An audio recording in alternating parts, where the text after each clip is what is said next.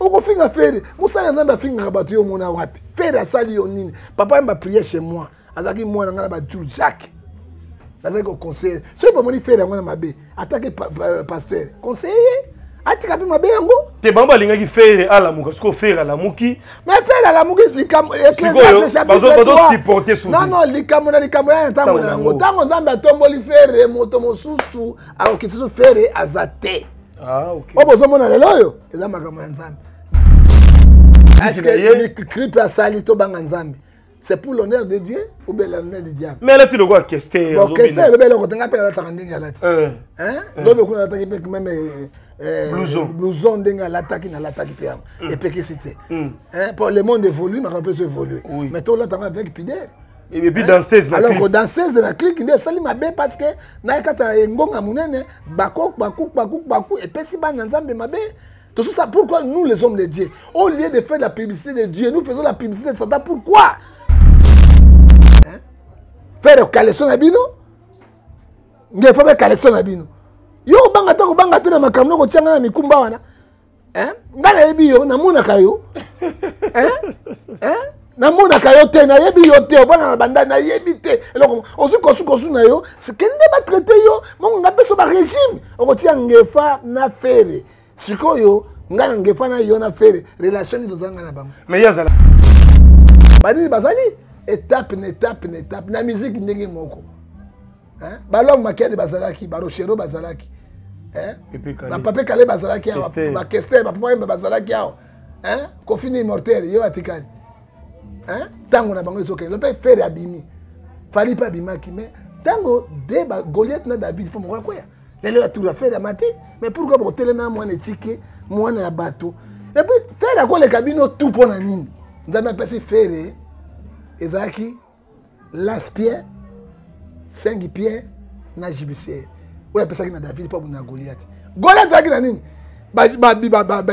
banini baoya makasi bakonga mpo asilisa goliath mais goliath david il avait l'esprit de dieu ngai atelema manike ngai mpe nakotelema na télévision boye naloba makambo manike hein ngai pena John papa nous mona za batango te quand même moi je suis ministre dit ko tshela na poto poto on a pas pamba te je suis un homme respecté monsieur hein ouais mais quand même sa réputation à montrer ça ma bien hein ozo komona hein soki eloko ngo etindi bino oleka na batelevizio botika feri mais mani katanga mpe komono mingi eh, nayebi te nakutanaka na ye te parce kaka naweleli ka feri meme na brazatanga nkombo na ngai kaka mpo na fere napaka napuye fere bango balinga napuye fere te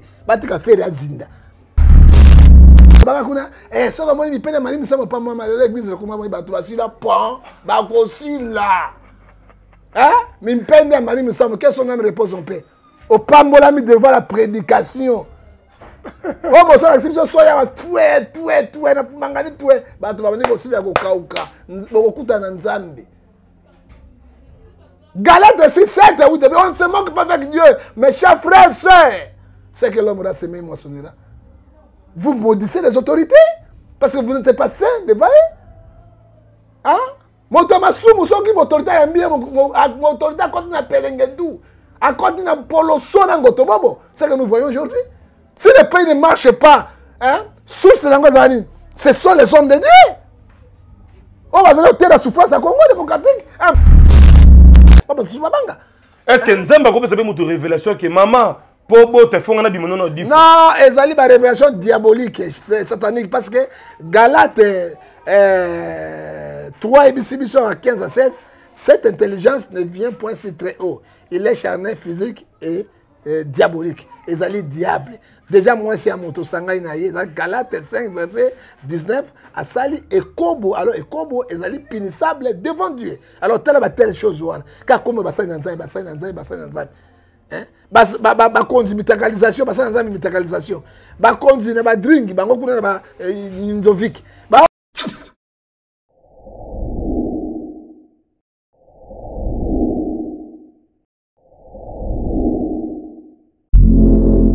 Voilà, merci à la grande équipe technique, Rémi Bobois, Charo derrière la caméra. Mesdames et messieurs, vous nous captez à travers le monde sur Équilibre Télévision. Jérémy Lemba, les renards du désert, est devant vous. Alors, abonnez-vous, commentez, partagez cette émission pour que Bandego Moussousou Bazala également informé. Je vous salue très respectueusement, Mimi Ndoumé, depuis moshinglaba na kati allemagne wana mimi ya bandume nadine maifuila na bruxelles le célèbre die nzundu na washington le vieux gigi kabuya bon séjour à kinshasa gérard sadam na manchester et enfin sema mayasi femme légitime ya jansi mayasi forza italia bokotala biso partout nous voici encore une fois avec euh, les préférés de toute la diaspora l'homme de Dieu, le prophète John Ngefa. On va essayer encore une fois de décortiquer l'actualité de l'heure ensemble avec lui. Mon invité déjà là, Papa Ngefa, bonjour. Bonjour, monsieur Jérémy Luemba, l'honneur, la grâce revient à Dieu. Nous sommes là pour défendre les valeurs. Très bien. Euh, et puis, toujours défendre tous, on défend aussi notre patrie. Hein. Nous avons un seul pays, c'est la République démocratique du Congo. On va les protéger. la vérité reste la vérité que dieu vous bénisse amen tokopriye prophète tokopriye mm. tata natiki émission na maboko na yo pambola sunga loboko no ezala kati na biso pesa jérémi lwemba bwanya sagesse science intelligence mituna na ye biyano na ngai nabengi molimo mosantu saint esprit je te vo que euh, jérémie 33 verset 3 akita apesa ngai mayele bwanya sagesse science intelligence na répondre na mayele totiki congo démocratique na maboko na yo totiki mpe francophonie esika otiola ekei biso bakongolai totikali kaka nde tozalaka sunga mokonzi ya mboka sunga guvernema na ye sunga basoda baza na kati na bitumba parce que bazobunda mabele ya mboka na biso kolo bana mibube mosika oyo kolo azala pilote na bango mpe kapitani na bango so bakomi eza mpona lokumu na nzambe oza baladi ntango oyo kolo leka kobikisa bango kosunga bango mpe oyo bazali kobota na césarienne ezala sage femme mpe chirurgien na bango oyo bazongisi milimo epai na yo na ntango tozali koloba kolo tikali toboma yango esika na bule bazela enlèvement église mpe jugement na yo yawe natiki bapastere nyonso ya mabe na maboko na yo babongwama bayeba yo misio oyo otindaki biso na kati ya mokili ezali matthieu 10 7 à 9 allez, allez prêcher la bonne nouvelle dite le royaume se proche bango bateyaka lisusu boye te bateyaka mabumu na bango poto bozwi orke mbongo ezali ya kopamba liboso na yo yawe ebanda na biso mpe osukisa na biso nakomona tata mpe na mwana na molimo mosantu amen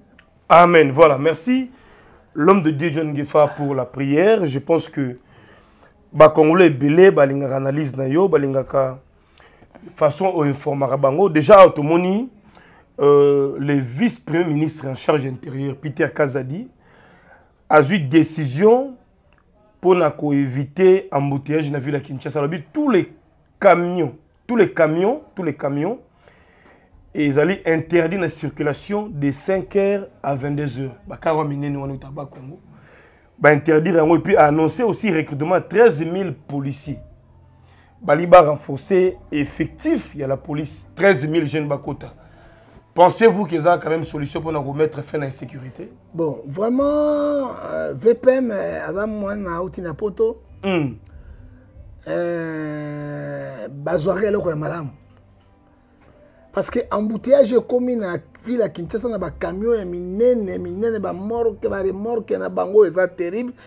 ezopekisa circulation esalema et puis ça crée les accidents ezocrée baaccident ebele ebele ebele lokola alobi de 5 heures jusqu'à 22 heures bango mpe banda kosala sikoyo soki apekisi de 5 heures à 22 heures sikoyo bakami mama pai kotambola ndenge nini ekopesa ndenge nini c'est ça aussi le problème donc basala yango butubutu butubutu ezali mpe malamu lokola mpo na kosauvegarde eh, peuple congolais eza mabe te mais na bapoto bacamion baremorke na bamikili mosusu na afrika etambolaka butu butu butu butu a partir ya 4 heures du matin 5 heures bapemi mpo bafavorise bacamion mosusu mboka ezali etat mboka ezali etat ya zengle te il y a des autorités oyo baza kogouverne mboka oyo bamibeko mosusu bazozwa ezali mpo na faveur ya biso ba peuple congolais pour moi j'adopte ces mesures alors 13 000 nouveaux policiers idée pour renforcer la police ezali malamu mingi parce que 13 000 so barenforce bango mpona baluka moyen oyebi kinshasa ezali lokola république mobimba bacoin mosusu papa ya policier bazalaka te mm. basoda bazalaka te les gens sont abandonné à eux mêmes ata osala eyoma na ye boyebi moto ya kokanga ye kuna aza te soki lelo bapesi susu 13 000 policier mpo barenforce effective moi je suis d'accord de ça parce que coin nyonso il faut la police ezala mpo ete role na bango na teke eza 82 kobatela bato mpe na, na, na populaire na bien na bango voilà ça c'est très bien john gefa ozali prophète c'est vrai bato ebele batako na baanalyse mais lelo quand même euh, évolution ndenge baanalyse yango ezokendela ndenge internet ça commence à craindre trop d'injures baproblème badifamation makambo ebele eza kokosela toyebi te tomoni manike de john oyo mpe apesaka biso baactualité bainformation azolela babakelema da pema pema na ezotungisa ye na voi mais toyoki na baekoke batangaki mpe nkombo na yo parmi bato bazokumbaka manike tu trouves ça comment yo etaki serviteur de dieu euh, jérémie nayoki batapoto babengi ngai mm. moi même je n'ai pas eh, suivi cette émission mm. babengi ngai mm. azali kolela o oh, malade ya pema eh, ngai na fere ezali ngai ngefa mama somme 105 verset 15 ne touchez pas mes oin ne faites pas mal à mes oin omoni nga je suis pas un faux prophète je suis un prophète de l'internet général kifo abeta nga 7 bale awa na tolo nakufa te na biblia nalia poison ata 7 fois ou 10 fois naza na vie oyebi te na nango mama kolukaka lokumu na yo to baide yo na nkombo ya motu te nayebi makambo dayre ngai natelemelaka bapaster ya makiona natelemaka bairesi natelemaka bato wana ya mabe mabe wana nyonso yo kotanga nkombo na ngai mpema na yo yo mais maka yo omelaka boni Hein? Oh. Quand tu prends des drogues, oyebaka eh, eh, conséquence na yango drogue bomelaka masango bomelaka balikerte forte bomelaka bobi conséquence na yango ezali romain 6 verset 23 ezali péché c'est la mort yo kotia fere parceke fere mpenza yango fere yango moko kaleso na bino fere kaleso na bino ngefa be kaleso na bino yo kobanga te kobanga te na makambo no kotianga na mikumba wana hein ngai nayebi yo namonaka yo hein hein namonaka yo te nayebi yo te obana na banda nayebi te eloko ozwi kosukosu na yo kende batraite yo mongo ngai mpeso barégime okotia ngefa na fere sikoyo ngai na ngefa na yo na fere relation nini tozanga na bango mais ye azalaka bongo te pema ezwi ye mbala moko c'est comme si est ce que ngai atelema manike ngai mpe nakotelema na télévision boye naloba makambo manike hein ngai pena John papa nous mona za batango te kama moi soit ministre dit ko tena na poto poto na papa mbate je suis un homme respecté monsieur hein ouais mais quand même sa réputation montre ça ma bien hein ozo mona hein soki eloko ngo etindi bino oleka na batelevizio botika feri mais mani katangaka mpe komono mingi eh, nayebi te nakutanaka na ye te parce kaka naweleli ka feri meme na brazatanga komona ngai kaka mpo na fere napaka na apuye fere bango balinga na apuye fere te batika fere azinda papa wemba mwana na ngai napuya papa wemba bayu jake bana na ngai napuya bango eh, bolingi napuye nini papa wemba apuye chez moi ngai première fois musicien bakotela ngai basambela epai na ngai baza te baza ebele oyo mpe nakadraka bango eh? nakeba kofi olomide nakuti tobanda priere ngai moto akobanda priere eh, prof prof ngai asali priere na ye nakondane demo epa edingo ekenda eh, eh, nakenda mpe edingo ele edingo ya na vie moto aparticipe na masumu edingo azonga nini edingo aconfirme ngai jeremi azalaka deux prophète na mboka oyo papa simo kimbango akamba na prophète ngefa jeremi tela jeremi tela émission moko nganga azoloba basali na ngai bazala te ka prophète oyo ayaka epai na biso te ka ngefa omona bango te otyaka na bozoba na potopoto na makambo ya papa yo foswana manike eske nakoswana ye nini nakosola na ye nini ah. mose 33 bato oyebi batango ata bayokana te atika komo na nga epuis nakoloba na a na i te akobunda na nzambe akobunda na nzambe atika otia komo na nga ngai naza propre na makambo na bino bapema wana azwi dikapapa ngai nayebi bapema yango nafana mama nike esika moko hmm? ngai bayebisi ngai na poto atangi ngai na fere ngai na fere nde tobwakele maladi wana aokangefa bwakela bato maladi Hein? Mission Nzambe apesa Ngefa ezali Esaïe 61 verset 1. L'esprit d'internel sur moi, il m'a envoyé pour apporter les bonnes nouvelles aux malheureux. bato bamelaka bachambre batika badrogue batika bakobiste batika ozomona pour délivrer ceux qui sont euh, dans l'esprit ténèbre tokangwa milimu wana mission te bapesa ngai miso nabokaka bato maladi nabokaka bato maladi ndeni natraitaka bango spirituellement mais nabokaka maladi te mais somo aniki aye okobikisa ye te akende ba paster mosusu deja ngai nabimi ndenge ngai bokele maladi nasalise mpo nani aluka elongi na nzambe eza esanga sala basisisi esali ngai bien te ozomona esali ngai bien te nakutana epa lokamba ayebi ngai nakasanga nafanda na poto ngai afandaka na afrike ozomona atika bilobaloba atika alanda bato na bango basaka bapoling pa moi eh, nzambe nakokende naye na somme 106 verset 16 batelemaki aron moise na rose ya nzambe mabele efungwamaki emelaki bango attention avec l'homme de dieu Très bien. Faut faire beaucoup d'attention. Mais Lelo Bapasté. Moi, moi, je ne suis pas musicien. Non, Lelo Bosa Yo kana bisayo, moi, yo kana bisayo, non. Ngai ba tu crédible. Ngai ba tu respectera ngai belé. Parce que na ba vérité na nde na respect na mipesa kati na euh, oui ba vérité ok hein? na zali lelo natikali parmi bato ya vérité na na kati parce que je ne change pas na nakota na bozoba wana te moi je suis pas musicien mais mais mais quand on voit des Denis Lessi ba hôtel ba prophète on moni bino tout ba hôtel dans le même sac parce que lelo te bible elobi yango vérité Jérémie mm. likambo ya Denis Lessi amo c'est 3 3 bato ba batambola te il fait la honte ya ba pasteur ça c'est sûr ah. mais il n'est pas seul aussi Il n'est pas seul aussi. Il n'est pas seul aussi. Il n'est pas seul. Il n'est pas seul. Il n'est pas seul. Pasteur, le prophète, a béni moi si à mon maman libala kuna aya awa. Ayi pas libala les hommes il faut coucher neuf fois. Est-ce que c'est normal? Et puis abimi na ye. Abimi na neuf fois na mangenge nga abimi bimi na maman wana zonga zonga kate. Regarde le gravissime, on est faux pasteur, Matthieu 24, verset 24, et Zaï Koloba. Ce sont les gens qui bah, ont arrêté,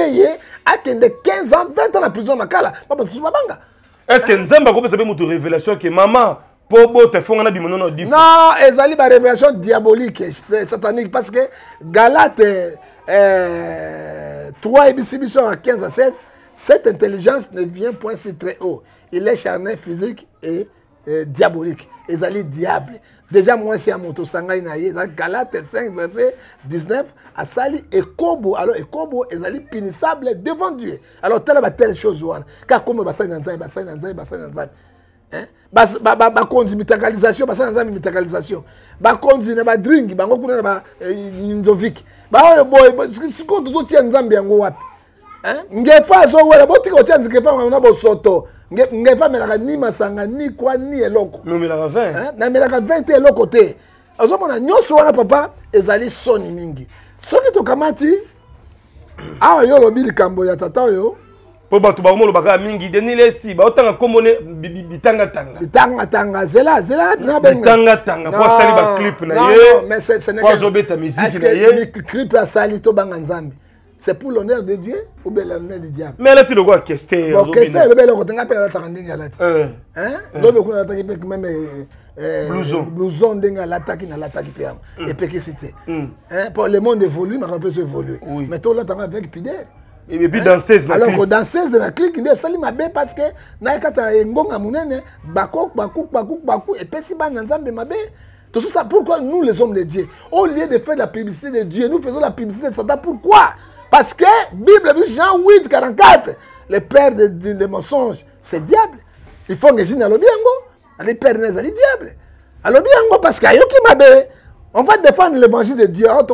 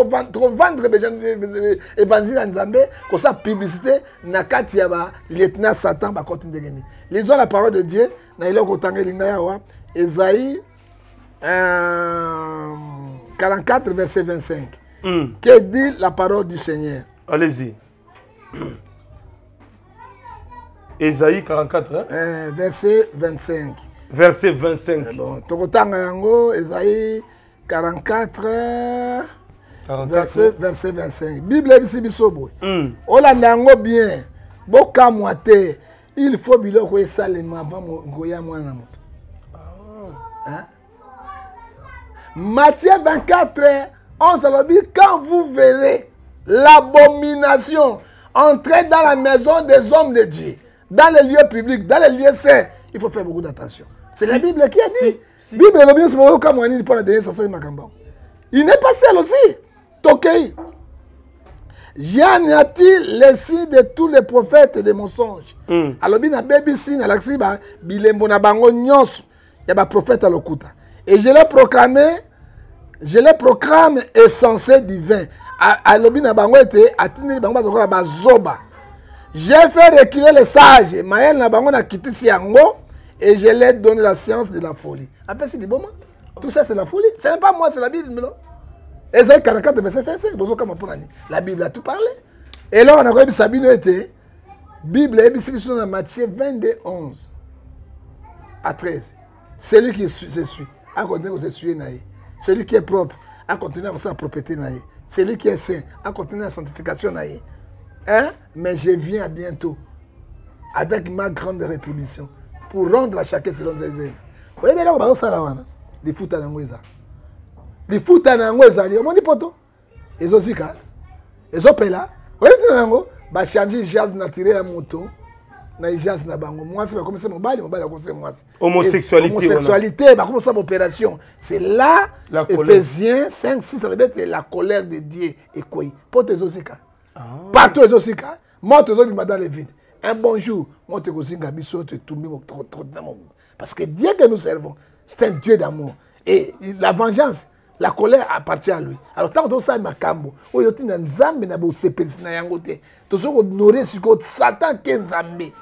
docteur jadi loteta il vient comme dieu au lieu eh, de chanter pour l'honneur de dieu hein?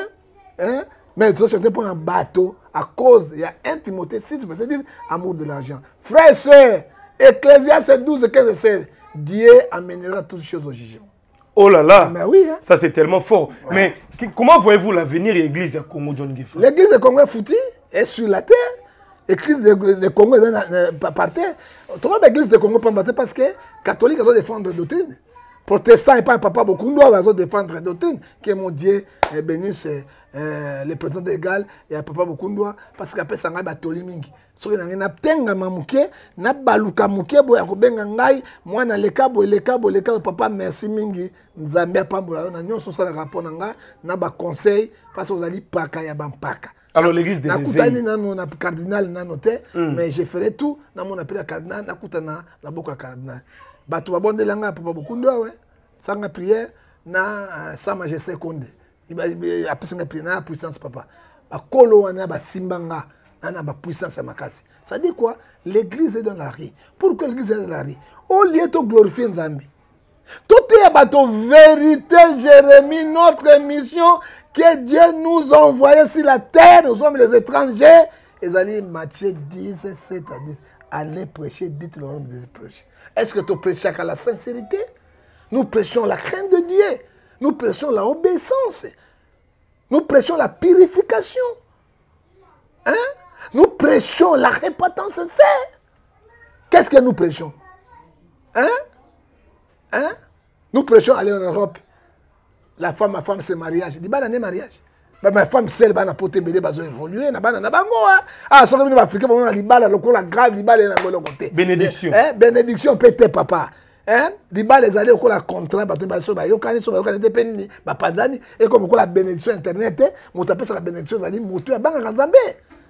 beaucoup de femmes aujourd'hui sont mariées mais bazosala kindumba libanda libanda basi nyonso mabala basalaka kindumba na eleni na moi moi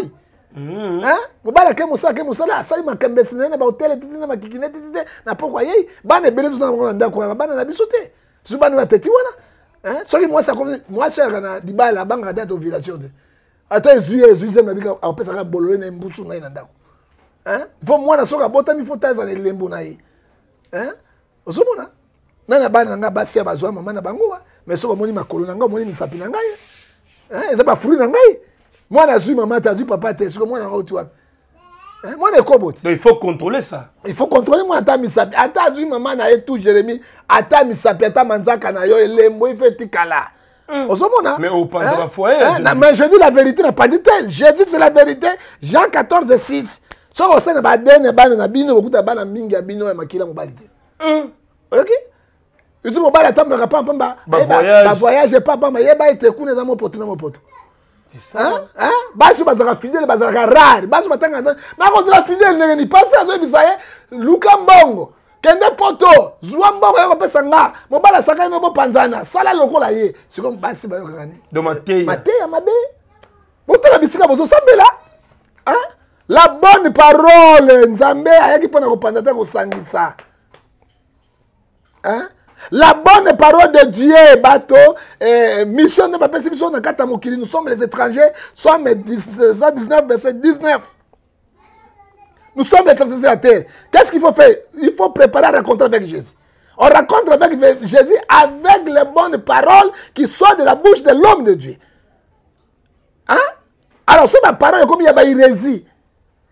mwasi mwasi nzoto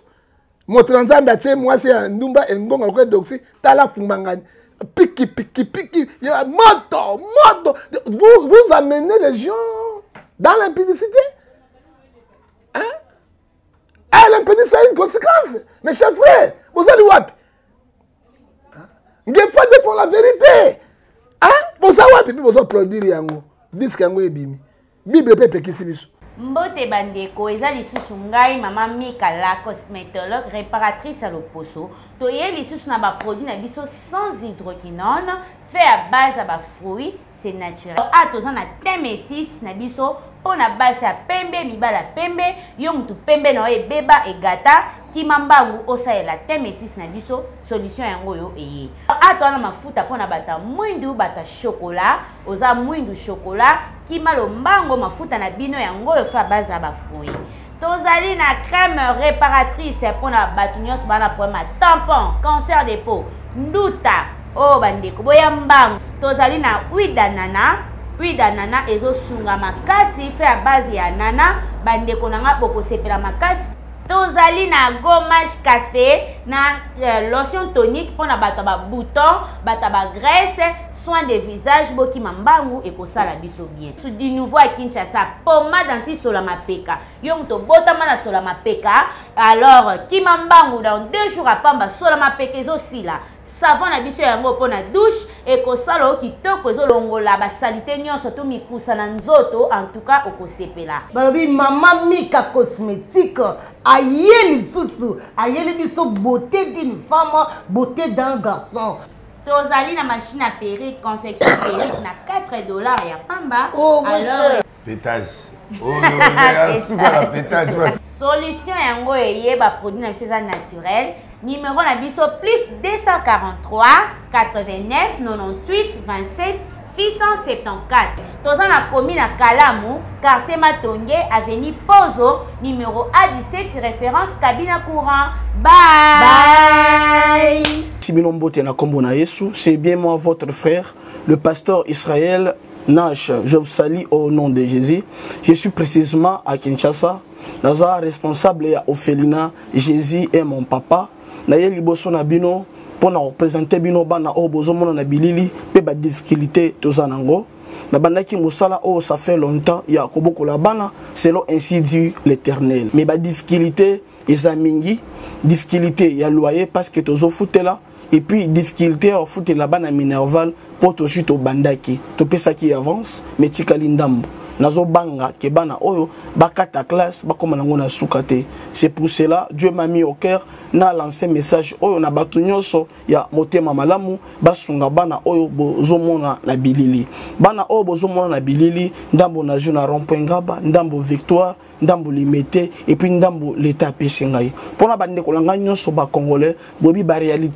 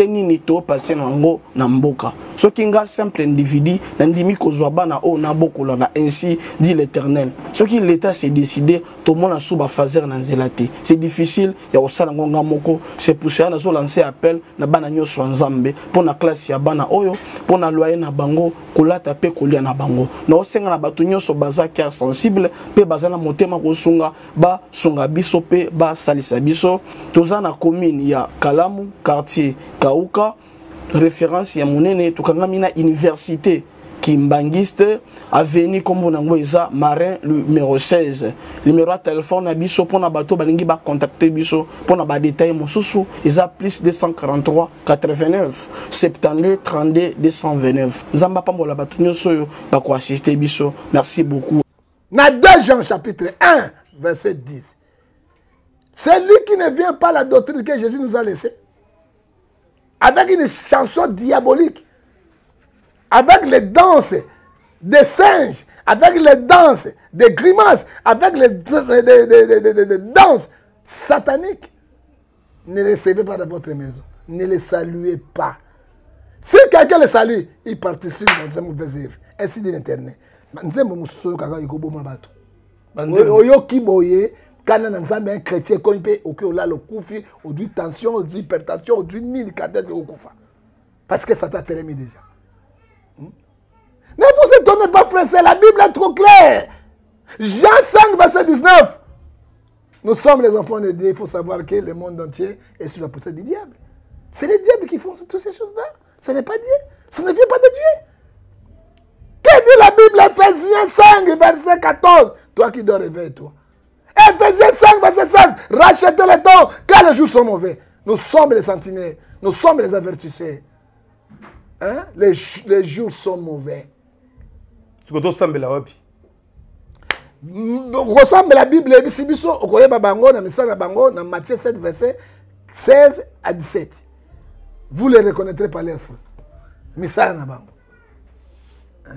pasteur oka église mobimba kaka mbongo mbongo mbongo hein? bademo ya famille bakanga yo balia bandeko na ngai balie yango banda tobotami tokuti tobengana yango na église de reveil titi balie yango ekenisilaka te mais erreur nini tosambelaka jérémi donc monotonie na prière monotonie na monotonie mais esilaka te banda tobengana satan yango satan akufaka te akimaka te ah, bapaster botika kokosa bana na nzambe bolakisa bango la vie internelle bolakisa bango qui est jésus christ qu'est-ce que la vie internelle bolakisa bango la crainte de dieu l'obéissance la sanctification la bienveillance de dieu la grandeur de dieu c'est ça que notre émission hein? tosalasa bango biloko moko ya pampamba mwasi mwasi nzoto oyo mosusu alobaka kuna eh, soki omoni mipele mali misamo pamba malelo eglise ekoma moi bato basila pan bakosila eh? mimpende ya mali misamo kesonga mi repose mpe opambolami devant la prédication oyo oh, bosalakisi biso so yawa twe twe twe na mangani twe bato babandi kosila ya kokauka bokokutana na nzambe galate 67 eute on se moque pas avec dieu mes chers frères sœurs c'est que l'homme rassemé moissonnera vous maudissez les autorités parce que vous n'êtes pas saint devant eux hein moto ya masumu soki motorite ayambi ye motorite akoti na pelengedu akoti na poloso na ngoto bobo ce que nous voyons aujourd'hui si le pays ne marche pas hein, source na yango ezala nini ce sont les hommes de dieu oyo bazali kotela souffrance ya congo démocratique un pays béni mais un pays de la malédiction ce que dit la bible proverbe euh, chapitre 3 verset 33 à cause de vous quelles sont ma punition alors merci beaucoup john gefa ça c'est très bien dit bahomme de dieu baza na mission na rôle ya jeu na kati ya mboka rôle monene maintenant bino bosangani na bana bamama olangi bosangani bosali clique ezali mpona kocombattre bapere réveil to c'est quoi votre idée l'église est dans la rue l'église dans la rue tozokota bapriere ntango tokobima jérémi kozala moto liboso ozalaka invité na caméra na yo parce que oza journaliste moko répété alain ndela kozala yo kozala tatina kozala hmm. euh, remi bobwa directeur ya chaîne ya de chaîne ya biso akozala na kati mpo boyeba mission toye na yango église eza dans la rue église ezali na libanda ezotelengana bato tokotaki na bango lobi lelo nzambe arejete bango na apocalypse chapitre 3 verset 15 à 16 sont rejetés ne sont ni froid ni bouillon ni bouillon ni froid moi dieu je vous vomeli na babouche pour sauver l'église il faut génération mosusu ebima ah, okay. faut génération mosusu ebima oyo ekolave bimage ya bavie wana nyonso bakende mpe balingaka kosila te balingaka kosila te baforsaka vie na israele ntango na ntango profete wana bandaki kokweya nzambe azopesa profete mosusu me bango bandaki kosila te alors soki tosali mouvement wana te jérémi lwemba mm. vraiment na église de réveil eza nde potopoto si potopoto regarde moi sango oubien pasteur protestant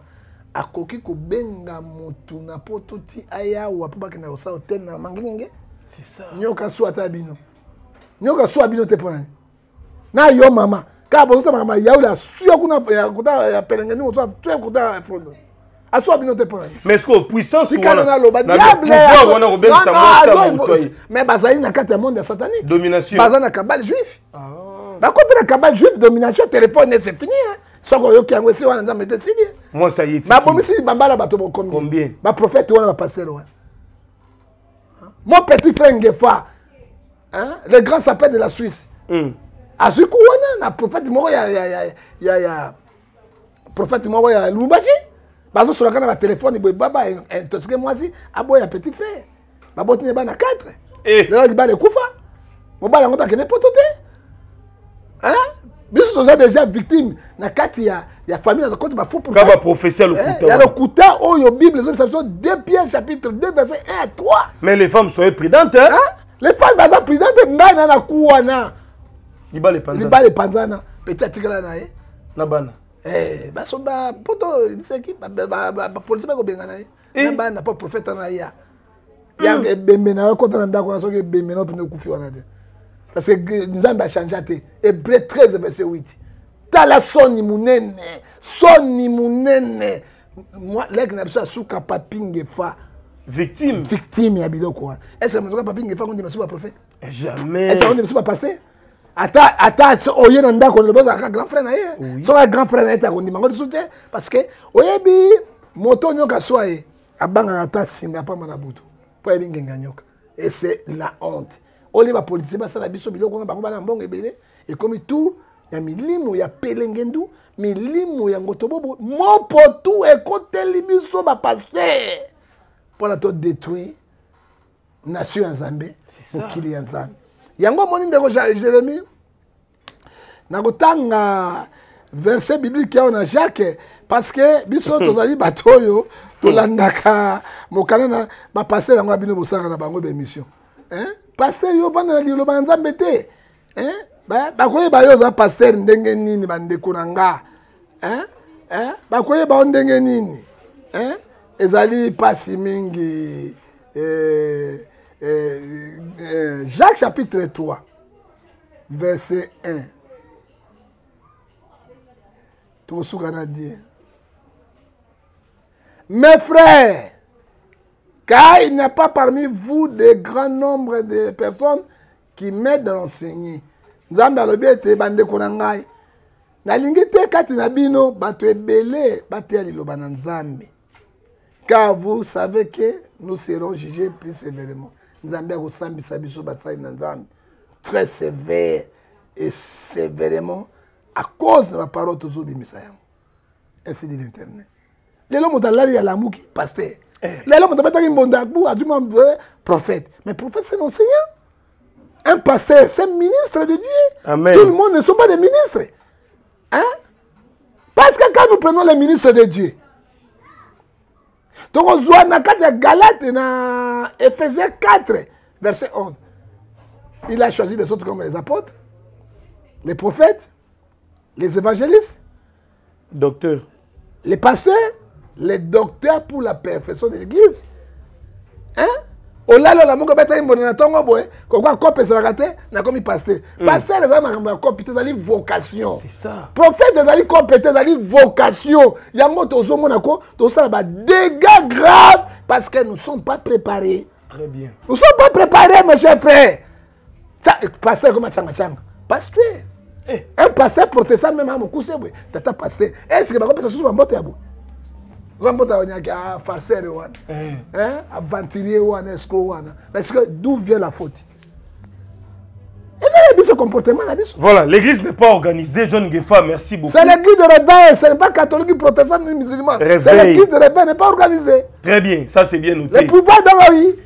alors mais quand même okoloba nde mpo na débat esilaka te entre ferre plutôt denis lesi contre ferre abio ferre kose victimise nalobi azokosa kolelalela tout ça wana denis lesi ferre alelaka te orphelin ya mokolo alelaka te abundaka mpo aza na lisungi te selon ye bacomplot basalaka ferre eza lokuta est ce que yo moni yango ndenge mais nayebisaki bango deuteronome 27 28 27 bakosala likita nzela bo nzambe apanza yango nzela nsambo fere azalaki ka victorier e napesa lisusu yo jérémie chapitre na verset 19 bakobundisa mais bakokaki nzambe akolongisa bango mais mosali na nzambe vous cherchez la paix hébreu 12 verset 14 okei na fere wapi fere ya mwana etike fere azali ofele hein? aucun orphelin ya bato wapi orphelin nzambe nde moto abatelaka bango apesaka bango na lupemba epuis losambo nzambe ayokaka mingi eza jacques chapitre 1 verset 27 hein? kobatela bofelin na baveve na kati ya mpasi na bango hein? okofinga fere mosala ya nzambe afingaka bato yo omona wapi fere asali yo nini papa yamba priere chez moi azalaki mwana ngai na bajul jacques nazali koconseille soki bamoni fere yango na mabe atake pasteur conseille ye atika mpe mabe yango te bango balingaki fere alamuka sikoyo fere alamuki ma fere alamuki likambobazosuporte su non non likambo na likambo ya na ntango na yango ntango nzambe atomboli fere moto mosusu akokiti so fere aza te ah, oyo bozomona lelo oyo eza makambo ya nzambe john ngefa moto nyonso ya puya ya bima quelque soit na na nzambe ya solo okwesa ngai te okwesa mpe fere te fere ya mwana te tozoteya ye tozobondela mpo na ye akenda liboso et faire aussi fait la fierité ya musique congolaise lelo hein? tala sikoyo mose kindimbu abimisi mafere lelo namoni na france 24 bazoloba bagrand saper toyoka bango te mais tala mwana wana kindingu bokotelema mpe kindingu eh. bakotelema mpe kindingu kindingu na mpe musicien ezali ntango na ye soki ntango ekoki frère eloko mais pete otangi na ntango na ye ata ah vie na ngai vie na bokende ngai bougaki mboka eh, ntango na ye mpe esili mpe ekei ekei na mai ezala ntango na ntango yo okotika libela motu azko na règne libela libela te na mboko balwambo barenya hmm. nakende makambo ya nzambe na mboko badine bala barenya bakufa baverno barenya bakufa ah? bapapa kelani barene akufi te me ayokanaka lisusu te baolangi baolangi bazalaki ye bakende sikatenda le pere sikatenda le pere akende il faut génération mosusu ebima lelo totikali kaka na sa majesté sa majesté sa grandeur sa grandeur c'est le conde on doit le protéger aussi lobi lobi mpe ya kokende me mosala ekotambola me azala na vie bapapa baruti bango oyo banini bazali etape na etape na etape na miziki ndenge moko balome makiadi bazalaki barochero bazalaki bapape kale bazalaki awa bakester bapapa mayembe bazalaki awa kofini immortel yo atikali ntango na bango ezokende lope fere abimi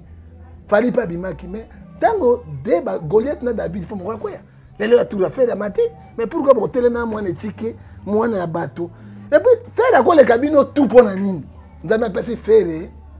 ezalaki las pierre sengi pierre na jibisere oyo apesaki na david mpo na goliate goliate azalaki na nini bape banini makasi bakonga mpo asilisa goliate mais goliate davidi il a bel esprit de dieu sengi pierre pierre oyo omoni lance oyo goliath asimba oyo euh, euh, david asimbaki nini c'est la croix de jésus de de mabaya croix quoi singa mibale oyo ezali nini c'est nouveau testament na ancien testament oyo ekangi libanga nini c'est la bible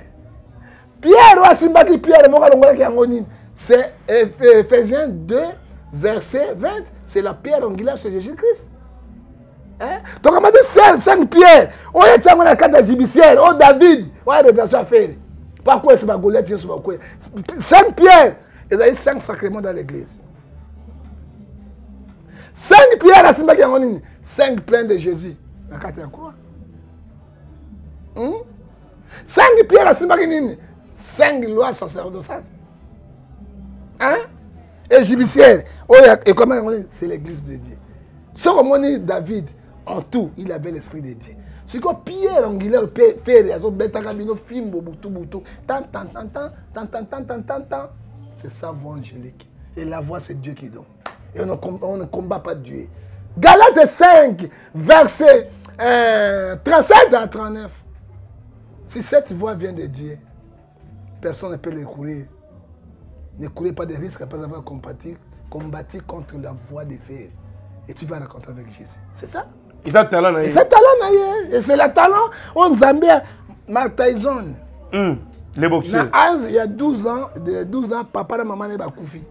atikala ofele mindele mibale bazwi bango bokola ye matadon azwi 5 fois champion du monde bomengo tu wana apartage na mama mobokoli na papa mobokoli mama na papa na ye babokola ye balia te papa wemba abotama na famille ya pauvre papa na mama bakufi na nyonso papa wemba azwaki yango mama abokolaki ye aliyaki eloko te c'est droit divine fait le partage son argent avec bato nyonso azosunga tosuteni totika race de kaye proverbe 10 verset 12 la haine excite le querelle l'amour couvre toutes les fautes fere alobaka te apesi mikuna na matie 11 22 epai ya nzambe botika mwana etiki ego botika mwana etiki avanda asali bino nini alors ça c'est très bien le congo toujours polémique division Euh, tribalisme cacophonie kongola misana kaka mongo oni boyembi papa na moto ya nzambe abeti wana akanisi ta une minute de silence mpona bato bakufa na ese moise mbiye akanisaki rien ayeka na loyenge me fere abeti bandeko na biso ya este bazali kokufa a cause na bamircherche na biso nsambe ekanisa bango président atye maboko mm, président oki mawa boye ba bubulence ba escro ya pan pan bozokosa bato mwana wana ye mbei akasi mabele ya mboka ata azolia azomela me makila ya kongo eza na maboko na ye agression hein? agression baba inutile c'est que nosi biso aujourd'hui ese moto kangefa kokombattre ngefa abundaka mpo na baverité Je suis là pour la vérité. Et personne ne peut m'empêcher. Mm. Totika mitema lukundu, mitema miibi. Bogo saba boum na beko kwa faire te. OK OK Et ça m'a mingi. Alors, merci beaucoup John Gefa. Nous sommes là, le travail continue. Na moni na Sokoda et Yindi ba misa bazo sonela mbongo kuna na Sokoda.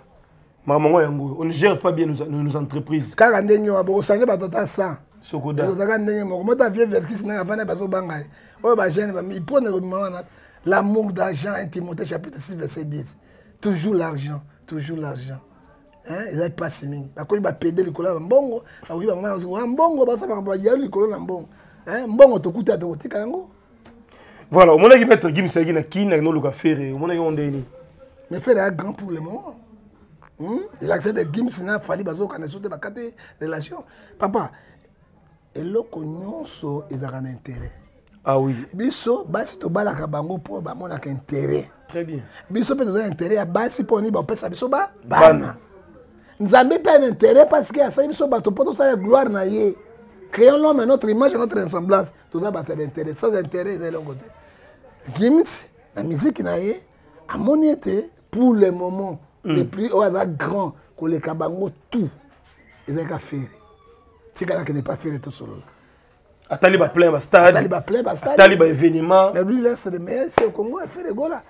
donc gilles mpe aye mpo na intérêt na ye aye na intérêt na ye abosa ba featuring ça c'est vrai eh, bosa featuring intérêt atamoni mpe intérêt na ye mpo lelo fere tomata tokita bolimisa ngai je suis pas porte parole de fere mm. yende atuni ngai mituna mpo ezongelaka nga soki mpe na bino andima te naza impoli parce que bango nde basalaka biso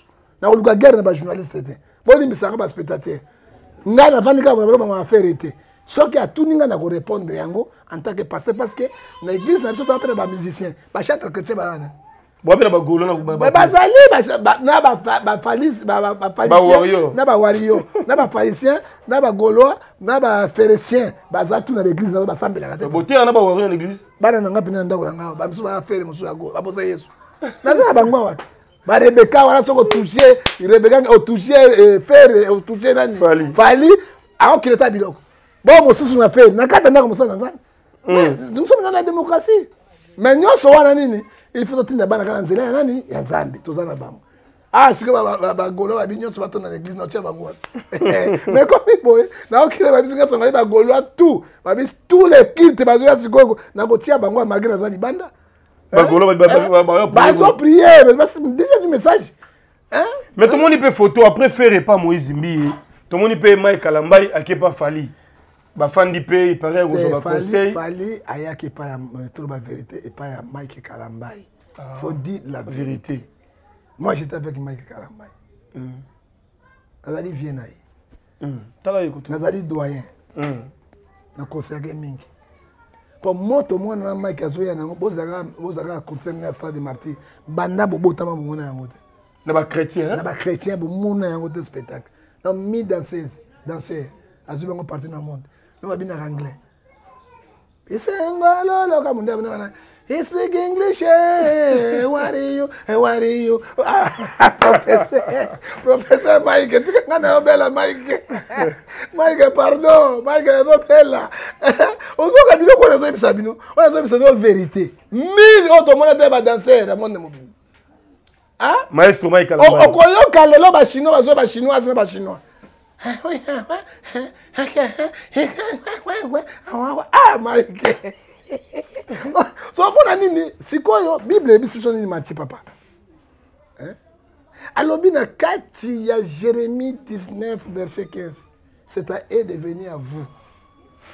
aye koluka vie na ye basolola meme soki mike akendeki kuna baza bavoisin ah, ou elle est mal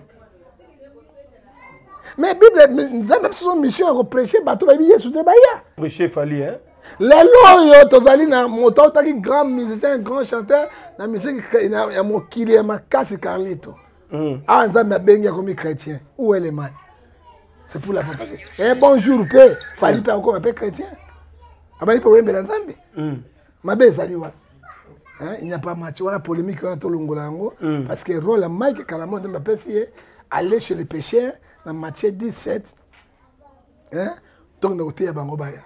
Très bien. C'est ça les problèmes. Oh, polémique, Mike Akeko. So, Mike Akeko, na bakuta appelle na hôtel, na ba même ligne. Na ba avion. Bakuta appelle na ba avion. Ba solo la kate. Ba solo la ka, mais ce que là on est là on est coupé liwa. Très bien. Ah. Merci beaucoup, prophète euh, du peuple John Gifa. Merci. na pedro mutu leader ya jeunessetokosalita examen na le 18 makambo ya euh, stade yango ozomona ndenge nini euh, po defi eza walesa na kiziamina nde tomonela température lelo le 11 ya lobi lobi okoluka nga walesa nalobi na okoluka nga soki walesa sisi kobeta tala amos 37 nalobaka na héritier boye te wazekwa mpiaka walesa mpiaka Hein? Oyo akoluka nga ainsi dit l'internel. Oyi Bible elobi na biso Amos 3 euh, Amos 3 7 abi Dieu ne voit rien sans tout faire bête c'est clair c'est vérité. Ya au moins ki diamine na 3 jours nende na zo biso ana zamba.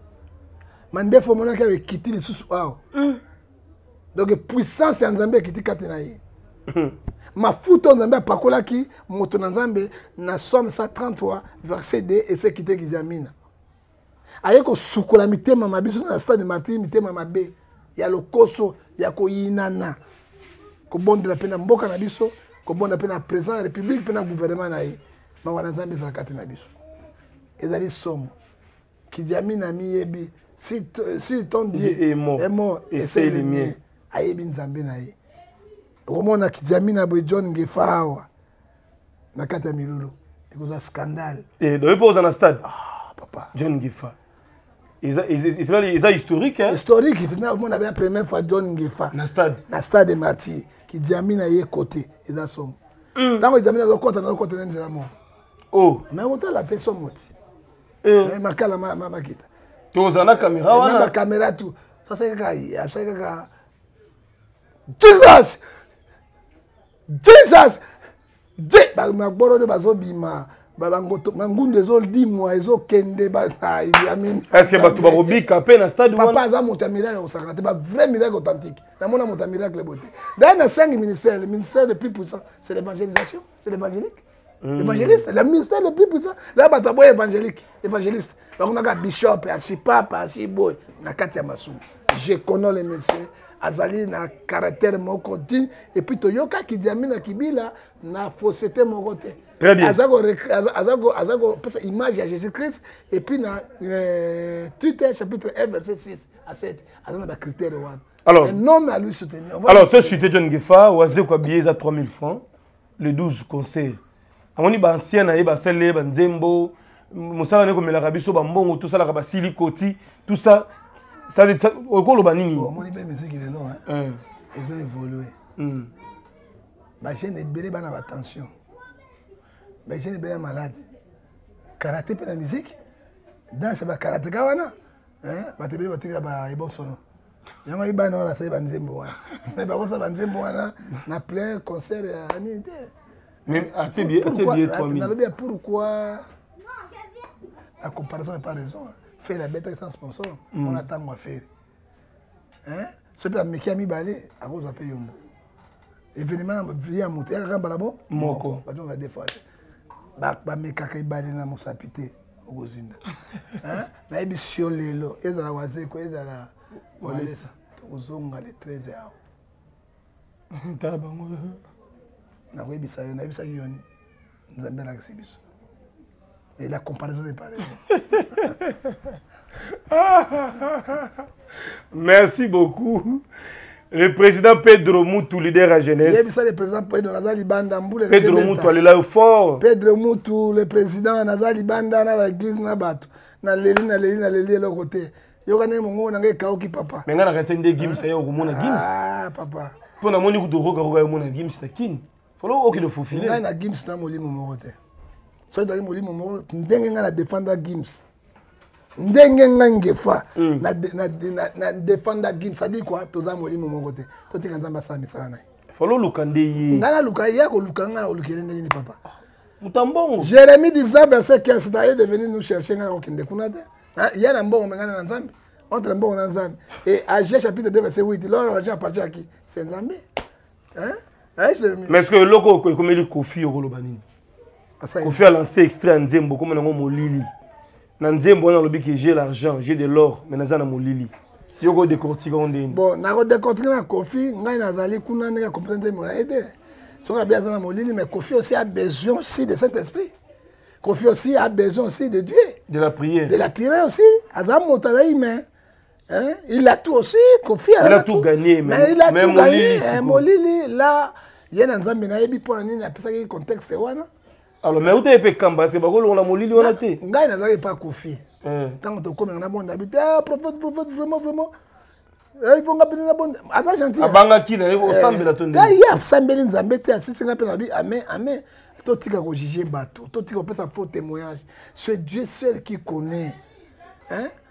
papa azoboma bato na kisi no na kuluna azozwa mbeli azozokisa okende okende bakangi ye bagorge ye par rapport na moto alobi molili oyo aza pli malamu epanzamela Quand Kuluna prend euh, les machettes comme ça, il commence à couper quelqu'un. Papa n'a pas si, même Nyama, va couper là. Hein? Puis Soli à moto, ils ont comme pas Nzambe, qui est le plus mauvais. ozo défendre eh? hein? na défendre na défendre molili ya kofi te lui même il sait pourquoi akompose molili soki bakompose molili abiba bacongolais toza na richesse toza na mbongo to na or mais congolais progressaka te to na molili contexte mosusu yango wana pourquoi les autorités bayebi nzambe te hein? bible eyebisi biso na, na, na, na, na, na mokanda na 1 chronique chapitre 1 verset 15 ani Hein? soki bino boye epai na ngai nakozwa bino so boabandone ngai nzambe mpoza nini abandone bango nayebi sala je ya francophonie die nous abandone parce que tobandaki na nzambe te hein? mpe tosukisi na nzambe te soki bapays islamique oyo baye to boudiste bakobanda na imami moko akopesa lokumu epai ya nani nzambe biso na afrike tozwa kaka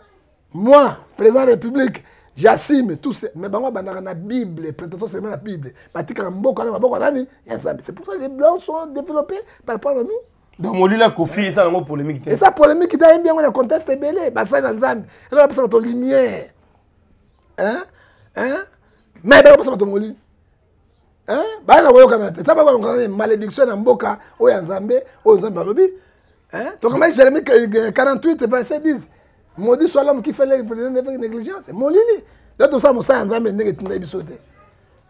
yango omoni katolika yebi nzambe moko Je suis dans lumière, la lumière éternelle. Je suis la lumière du monde. Moi, je pas dans les noirs, mais l'aura la lumière éternelle. Ah, ogakunga petit, ozoka bakunga ezobima petit,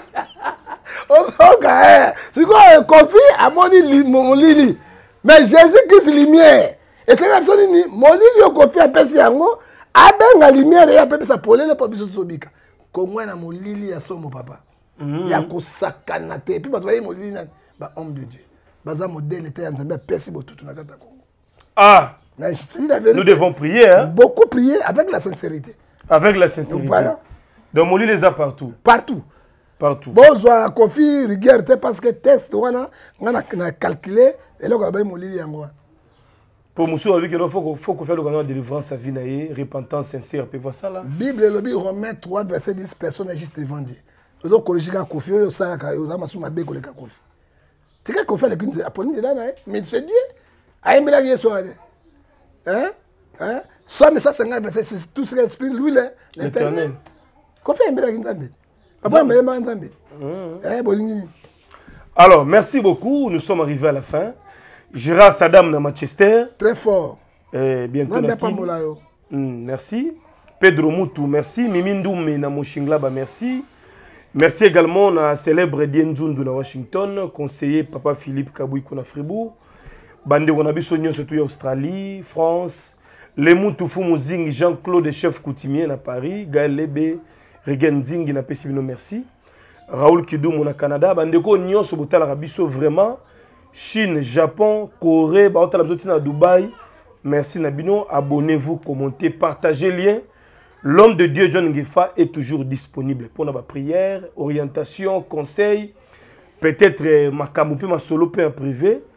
L'homme est là, pesa numéro ba Ngefa. Numéro na nga soko lingo zwa ngai plus, plus euh, 243 89 610 49 41 whatsapp okozwa ngai ndenge monsieur jérémi aloba bolanda ye tayaka mingi na église eh. tosambelaka na elongo eh.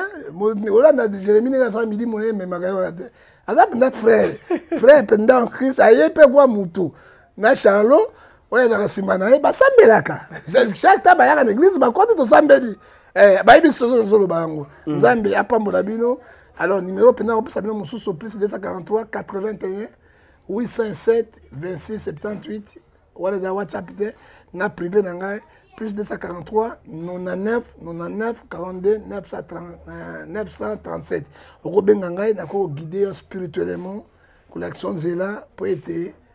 mokili oyo tozali yango lisusu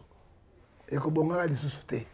la bible nous dit ephésiens 5 verset 7 rachetez le temps car les jours sont mauvais que dieu vous bénisse naza libanda mbula ezobeta nayebi te esika na kotia bato nani akosunga nasengaki na président ya république balingi mpe nakutana na ye te mama denise ya kero première dame balingi te bino bosungaka bagimse bosungaka bato ya théâtre bosungaka bato abo nayebi te nazongaki mama olive nayoki réponse te nasangi pa pa kabila nayoki réponse te mais nyonso napesi na maboko ya nzambe nayesu na eloko ya koloba te napesa mpe verset bibliki te mpo napesi napesi nalembi mais nayebi moto asali or l'argent appartient à dieu frère soki osala eloko monene olingi kosala siko mpo na nzambe romain 11 35 a 36 oyo adefisi ngai mpe nazongisi ye te atombola mosapi salomo azongaki kobika na vie mpo atongaki temple monene oyo papa ni akoki kotonga yango te hein frère ngai fa kolelaka likambo église te hein balobi na ngai mo nyonso akomi moto ya tshisekedi akomi moto ya mama ya kero azongeli kabila non likambo spirituel ya makambo ya tshisekedi na kabila te tshisekedi aussi il cherche aussi la vie interne kabila cherche aussi la vie interne bato ya motema maya bato ya mbongo ebele bazali bazoka nazolela hein ezali ndako na ngai nazosomba te nazosombela nde ndako ya nzambe eglise boza wapi très bien voilà dieu vous bénisse ça n'est fini mama clotilde bondo le plafond de reine napesi mbote honorable claudine luyei na kinshasa mama sara lina wembi na états-unis mama fifi longo na londres boza ebele nos mamans je vous aime beaucoup sema mayasi merci beaucoup